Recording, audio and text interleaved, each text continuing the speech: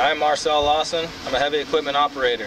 I'm going to demonstrate the startup procedures for this dozer behind me.